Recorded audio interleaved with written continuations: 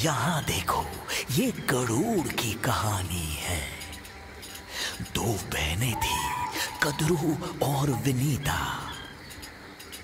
महर्षि कश्यप की सबसे प्रिय पत्नियाँ।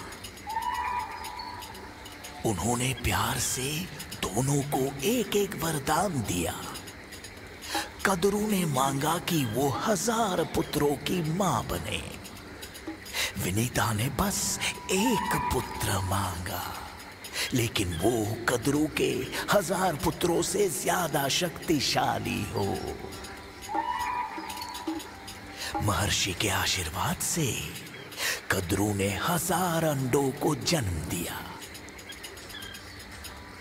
विनीता ने बस दो अंडों को जन्म दिया। समय के साथ कदरू के अंडे फूटने लगे। हर एक अंडे के अंदर एक सांप था।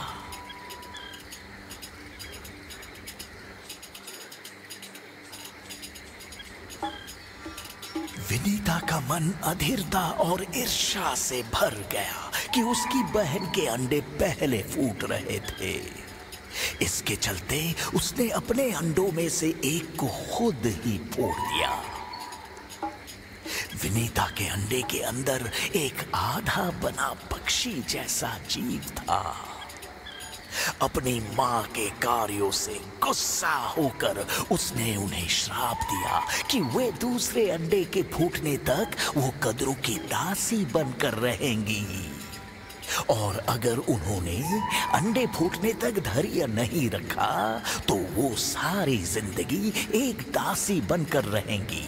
और इसलिए अपने आधे जन्मे बच्चे के श्राप से और कद्रू और उसके नाग बच्चों की साजिश की वजह से विनीता अपनी बहन की दासी बन गई।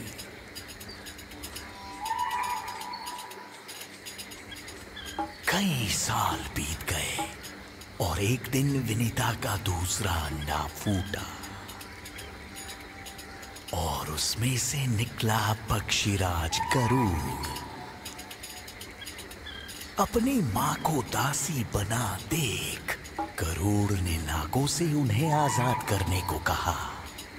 वे मान गए लेकिन एक शर्त पर कि गरुड़ स्वर्ग जाएगा और उनके लिए अमृत लेकर आएगा।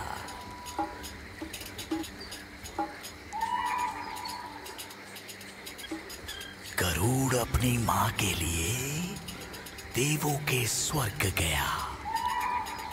वो बहुत शक्तिशाली था, इसलिए देव उसे हरा नहीं पाए और वो उनसे अमृत ले आया।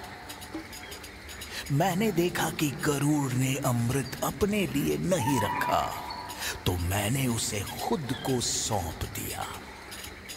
क्योंकि उसका दिल साफ़ था, मैंने उसे अमरता का वरदान दिया। और बदले में उसने मेरा वाहन बनने का उपहार दिया। अगर मैं ऐसा चाहता मैंने गरुड़ को चेतावनी दी कि नागों का स्वभाव धोखा देने वाला है।